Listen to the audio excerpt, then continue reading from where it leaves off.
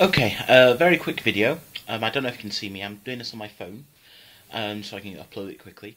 Um, a couple of responses to videos, um, to comments on my on channel. Um, somebody wants to know how to pronounce the word Welsh word for moon, which is lloer, or er, is lloer. Okay, and another person wants to know how to say I love you in Welsh. That's not nothing to be said lightly and it's Rwyn de Garidi. Okay, so Rwyn de Garidi. Rwyn de Garidi.